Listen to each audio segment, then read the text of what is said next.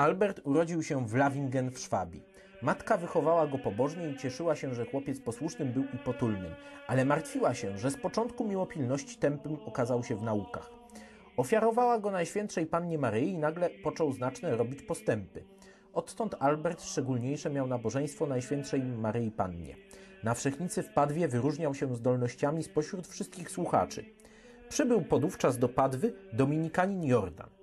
Kazania jego tak potężny wpływ wywarły na Alberta, że porzucił świat i oblógł habit dominikański. W cnotach zakonnych takie robił postępy, że wkrótce prześcignął starszych. Ponieważ znakomitym był teologiem, pełnił urząd profesora w szkołach klasztornych.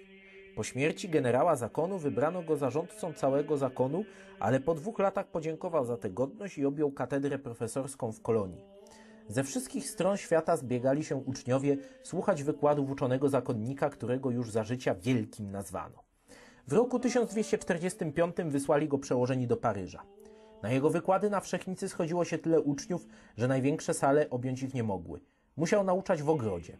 Posiadał głęboką znajomość wszystkich nauk. Prócz teologii i prawa znał tak dobrze matematykę, botanikę, zoologię, że po 600 latach dziś wzbudza podziw w nowoczesnych naturalistach.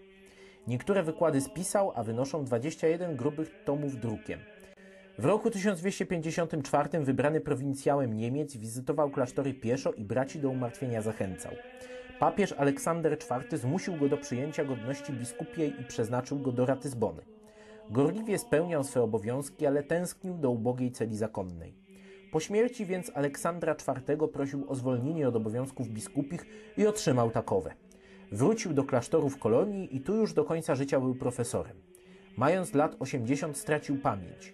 Odtąd gotował się na śmierć i grób sobie wykopać kazał.